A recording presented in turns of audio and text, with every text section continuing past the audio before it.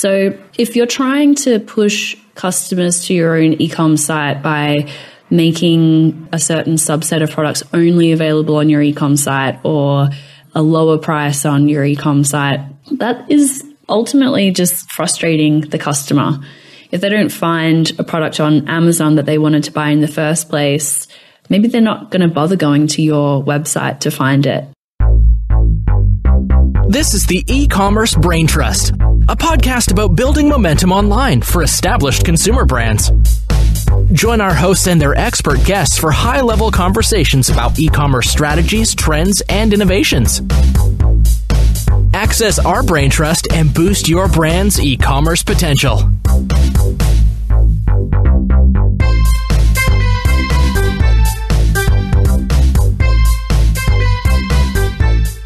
Hello, and welcome back to the e commerce brain trust podcast. I'm your host, Kiri Masters from Bobsled Marketing.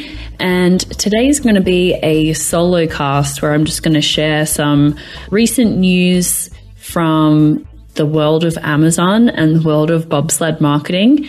And we're going to get back to having some interviews in the coming weeks as well. But I did want to pop back on to make sure that you're all up to date with some recent developments at Amazon. It is a constant clip of change that we're dealing with in the world of Amazon.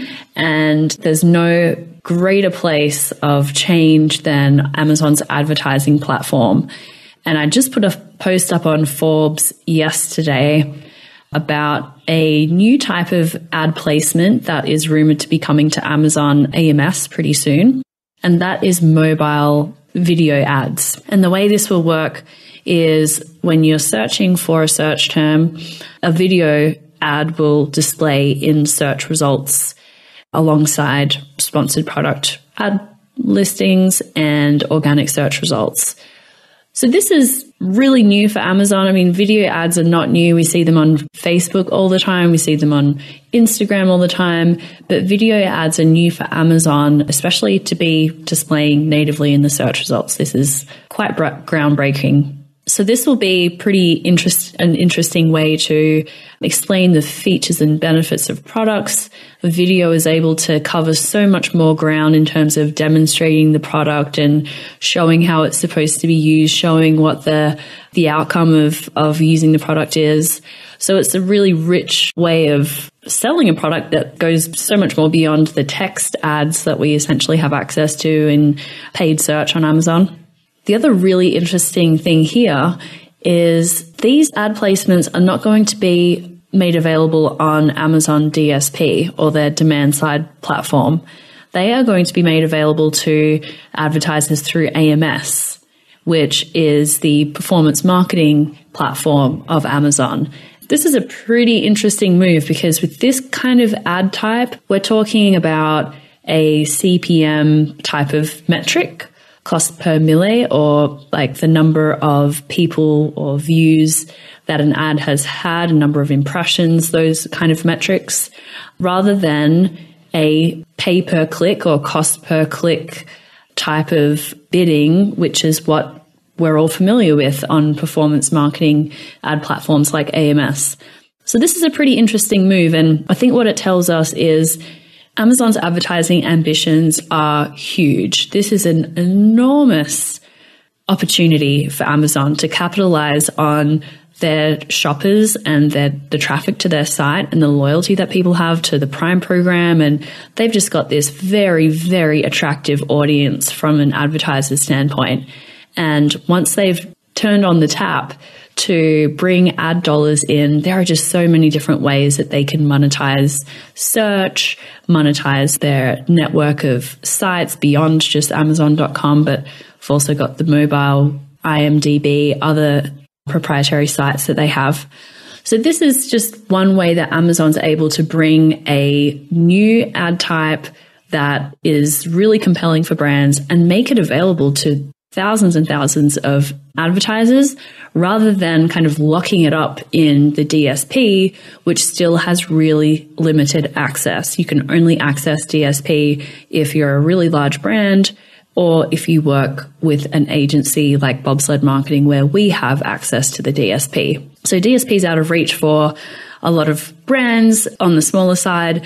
And also just given the priorities of smaller brands, they often don't have a brand marketing budget. With DSP, we're talking about brands that have a brand marketing budget. They are interested in impressions. They're interested in awareness. They're interested in brand recall, those kind of metrics, which are less important to a smaller brand who's really focused on getting sales and being able to tie their ad spend directly back to sales. So the fact that Amazon's made this ad type available on AMS, I find very interesting. They obviously want to get as much adoption of this ad type as possible. Having said that, it's still probably going to be out of reach for a lot of smaller brands, given that producing a video is very expensive, you know, a decent video. So there's the cost of production upfront. And then, according to the article in Bloomberg, which I referenced in my article, there is a $35,000 minimum spend in the first 60 days for this ad type. So that will be out of reach of smaller brands for sure when you couple that with the production expense. But I like the fact that they've at least made this available to brand, uh, smaller brands operating on AMS. Okay, my next news item for the week was a study that came out from Feedvisor, which is a software provider for marketplace sellers. And they've been doing some really interesting research lately. This most recent one was a study of 2,000 consumers asking them about their online shopping behavior. And again, there was a, this is based off a post I put up on Forbes that we'll link to in the show notes here. One of the headlines from the study is 89% of consumers are more likely to buy products from Amazon than other e commerce sites. So that is 89% of shoppers want to go to Amazon rather than an e commerce site that they don't frequently visit. That includes eBay, Walmart, and independent direct to consumer sites like Glossier, I mentioned as one example. But this creates a very compelling reason for brands to put Amazon f- first as a sales and marketing channel I talk with a lot of brands who are interested in preserving their direct to consumer e commerce channel for very good reasons. Often you're getting better margin on those sales. You have a direct relationship with the customer, so you can remarket to them. You can actually speak to them. With Amazon, you don't have any direct relationship to the customer. It's Amazon's customer. So, of course, all of the things being equal, you would rather have sales come through your ecom website than on Amazon. Totally get that. But customers, many shoppers don't want to buy on another website besides Amazon. Amazon has my credit card information. They have my shipping address. They have my order history so I can go back and buy that product that I, I liked from three months ago that I need to replenish. There is so much trust in Amazon as a payment company, someone who understands my preferences, of somewhere that I know that I'm going to be able to generally get a pretty good price for what I'm looking for. And I know how to navigate the site. Call Amazon's website design what you want, but it is a conversion machine. It's very easy to navigate around. It's very easy to know how to search, how to go through products. So if you're trying to push customers to your own ecom site by making a certain subset of products only available on your ecom site or a lower price on your ecom site, that is ultimately just frustrating the customer. If they don't find a product on Amazon that they wanted to buy in the first place, maybe they're not going to bother going to your website to find it.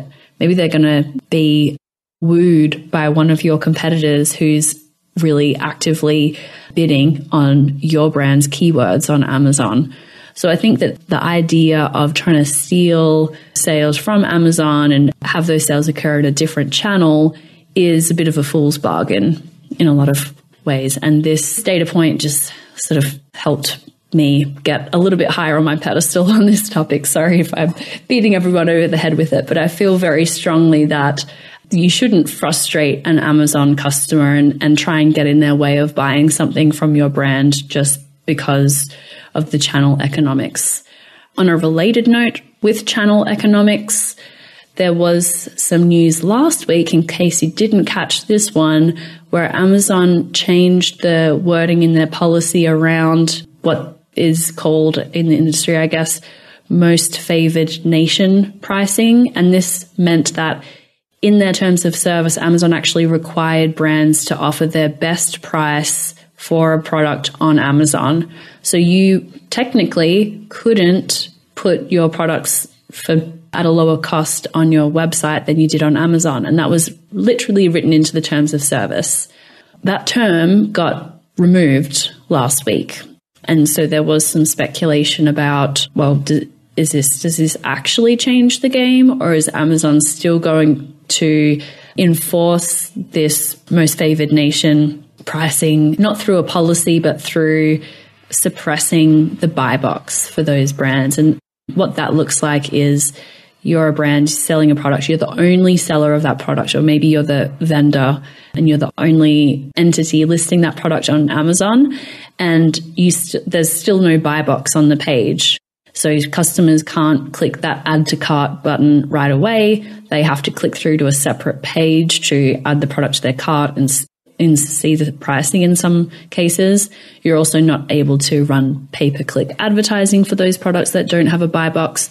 And so this suppressed buy box was happening while that rule was in place. And anecdotally, what I've been hearing from from sellers and, and vendors is that that's still happening even after the official policy was walked back. So even though the policy has changed, maybe in practice, not a whole lot has. But that is sort of lines up with my earlier point about channels and where customers are going to buy products. You, you need to offer the same price in all channels. That I'd appreciate that has financial implications for a lot of brands where the economics are very different between channels. But looking at it from a customer standpoint, that's what they want. They want the convenience of Amazon. They still want to shop for your brand they want to make the transaction on Amazon. A couple of other data points from this study that are really interesting. Amazon is indispensable throughout the shopping journey. And so there were a few questions that were asked of customers in this shoppers in this Feedvisor survey that asked, where do you start your search for new products? And 66% of the time, people are searching, starting their search for products on Amazon compared to 20% who start on a search engine like Google. So 66% of the time people are starting their search for a new product on Amazon versus just 20 for Google. And that's fascinating. When customers are ready to actually buy a specific product, 74% go directly to Amazon. So three quarters of customers, once they know what they want to buy, what brand, they're going to go to Amazon that is incredible. And one more data point to demonstrate Amazon's sort of grip on the customer journey as well. This is kind of the consideration phase where I might be trying to looking for some Bluetooth headphones and I'm trying to decide between two brands. I'm going to go to Amazon and check out the reviews of those two products. So where customers check reviews before making a purchase, 79% check reviews on Amazon. And the next option is 32% for a search engine. So people are using Amazon to search for a new product. They're using it during the consideration phase, comparing one brand to another. They're also comparing pricing a lot on Amazon. And then when they actually want to buy the product, they're checking out on Amazon.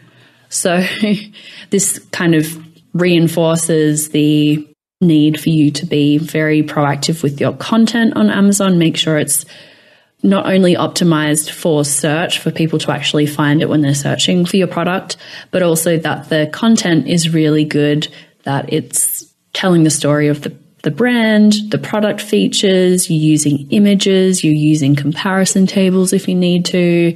You're adding enough content in there to help people make a buying decision because that's where people are going to research, compare, and purchase.